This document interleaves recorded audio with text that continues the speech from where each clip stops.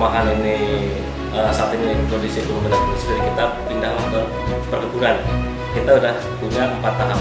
Tahap pertama uh, kemudian kedua durian lagi ketiga saya punya konsep baru gaharu mengapa kita membuat ukuran kafling 100 dan 500 karena kita lihat dari dari daya beli masyarakat. Karena kalau untuk kita jual 100 meter harga di bawah 30 juta. Itu masih memungkinkan dan masih luas untuk uh, daya beli konsumen kita untuk tahap 3 yaitu total luas 32 hektar. Terdiri dari 1030 kafling 100 dan 500 berapa 500 kafling 500 meteran saat ini sudah terjual yang untuk 100 meter itu kurang lebih hampir 300 untuk yang 500 meter kurang lebih 100 kafling. Kenapa kita pilih Cariu?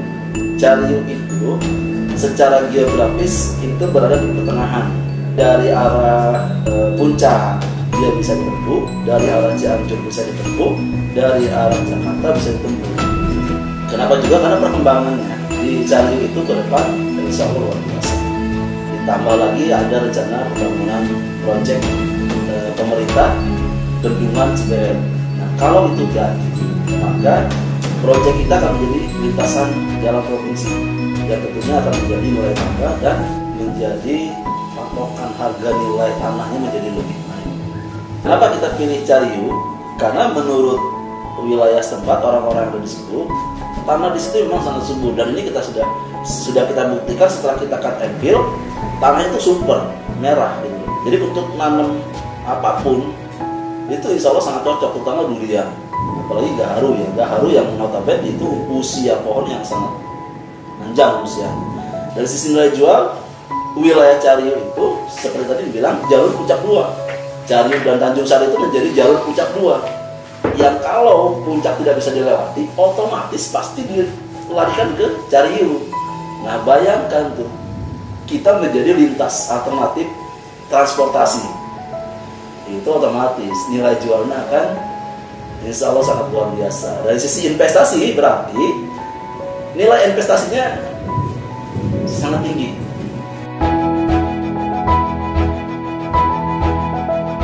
Kenapa kapling setiap pembeli yang beli kapling kita berikan satu rumah kontainer.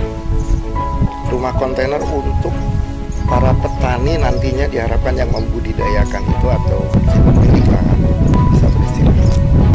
posisi kafling 500 itu sangat menarik Kenapa? Dia posisinya ada di lereng. Jadi kita punya lahan datar, lereng gunung, baru datar lagi.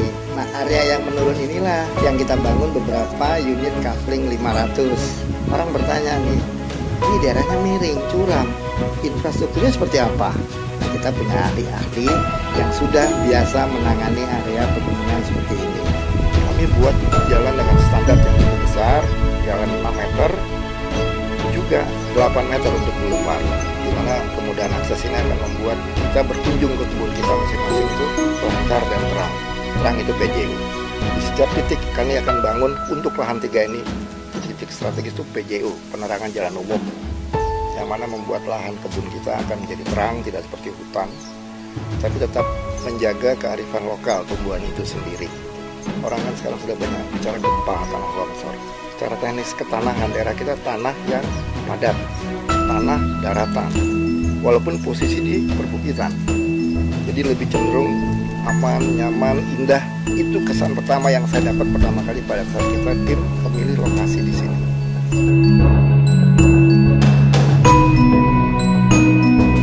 Nah, kenapa kita memilih gaharu bukan yang lain dan dikombinasikan dengan eh, durian? Karena gaharu merupakan salah satu tanaman yang masuk ke dalam tanaman yang sangat bernilai tinggi.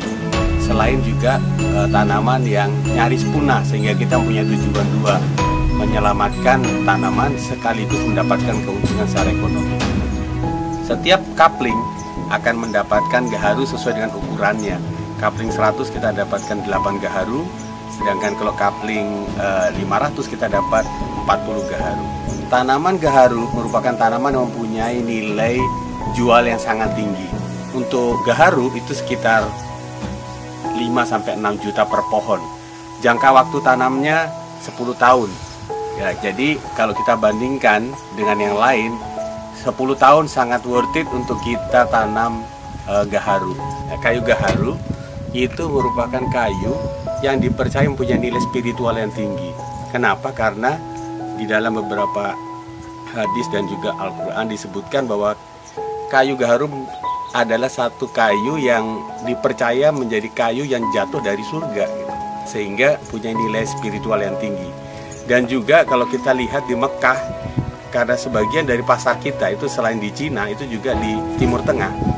Ka'bah itu di dalamnya itu ada ada batang tiang yang terdiri dari tiga kayu gaharu Kemudian kalau setiap kali penggantian tutupnya Ka'bah itu selalu dibakar dengan wangi-wangian dari kayu gaharu dan itu dari Indonesia. Kemudian satu lagi dalam hadis menanam pohon mempunyai nilai yang akan terus berlanjut kita dapatkan pahala kalaupun kita sudah tidak ada di dunia ini.